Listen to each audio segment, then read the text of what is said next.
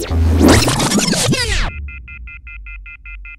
Right, we'd like to tell you about the next generation of robotics. Ultra clever, ultra adaptable robots, modular robots. That's right. Now, all the robots that you see here have been built as single complete unit, apart from the Robonova, which is Jason's personal robot. This is actually a collection of separate robotic modules. In this case, servo motors. Yeah, it comes as a kit, and I built it as a humanoid, um, but I could have chosen to assemble the parts into a dog. Um, um, or a spider. And it's this adaptability which puts modular robotics at the cutting edge of robotic research right now. And Ortis would know because we just sent them over to the States, you lucky beggar, you. Uh, to check out some really clever modular robots. This is a robotic snake called Frostbite. He's the seventh generation of modular robotic snakes designed and developed by a team here at Carnegie Mellon University in Pittsburgh. In terms of hardware, Frostbite is not that complex, each section or module of Frostbite contains a standard hobbyist servo motor, more typically found in remote control cars.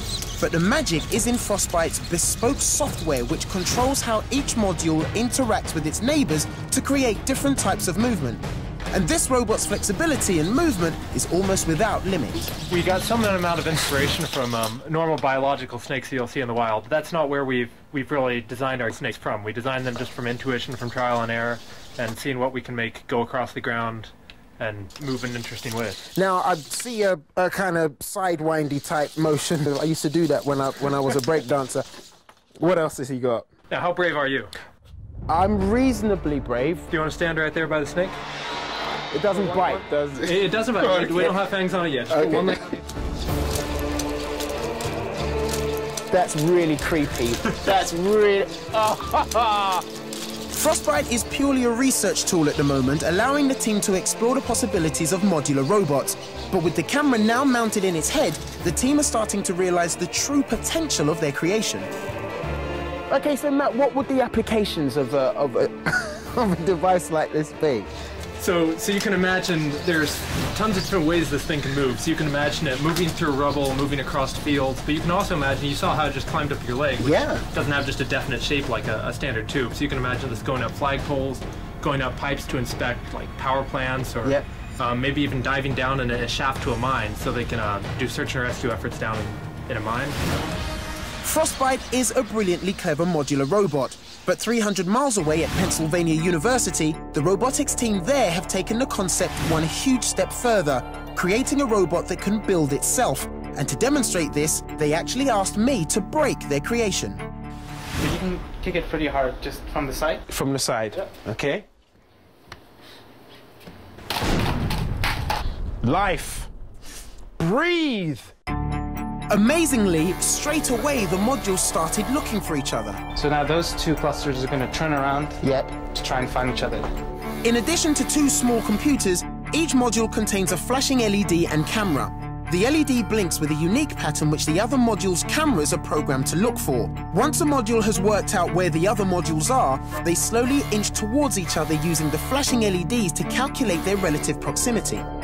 The basic idea here is to build teams of robots that you could buy by the bushel. So in the future, you'll you won't buy a particular robot for sweeping your house or for cleaning your bathroom. You would buy uh, 10 pounds of robots, and they would come into your house and they would configure themselves in different ways to do different jobs. And are we looking at the, the final docking about to happen now? That's right. Okay. So two of the clusters have already docked. Yep. And the third cluster is now going to join. Look, look, look, they're about to connect. Oh! The concept is brilliant. These small robot molecules can put themselves together like Lego bricks in a whole range of different ways to build a whole load of bigger robots. With the modules connected, magnets hold them together. Small additional infrared LEDs allow the modules to communicate with each other so they can then work out how to form their final shape. It feels like I'm watching a special effect from a movie. Don't look at me, look at that. It's so creepy. Look, look. Ah! That's fantastic.